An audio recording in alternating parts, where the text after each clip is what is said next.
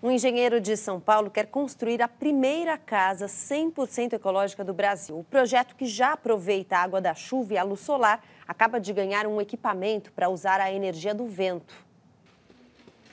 Este gerador eólico vertical, modelo que aproveita melhor a energia do vento, mesmo quando ele é fraco, é instalado pela primeira vez em uma casa no país. O equipamento fabricado no Japão pesa uma tonelada e custa em torno de 60 mil reais. Investimento que deve ser recuperado, em média, em cinco anos. Há quatro anos, um engenheiro eletrônico, que é proprietário da residência, decidiu transformá-la no que ele chama de casa ecológica. Além de gerar toda a energia que ele precisa aqui, não só por meio da força do vento, mas da luz do sol também, ele ainda pretende vender o excedente para a companhia distribuidora de energia.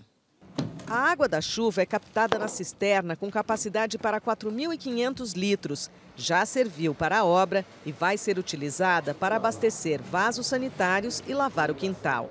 Mês que vem vai chegar uma nova estação que vai potabilizar a água da chuva. Então aí já se pode tomar banho com ela, você já pode lavar roupa, usar para fazer comida, para tudo. Ela fica uma água perfeita.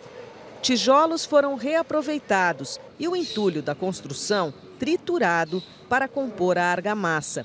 A casa é automatizada e o sistema inteligente controla o uso de vários equipamentos.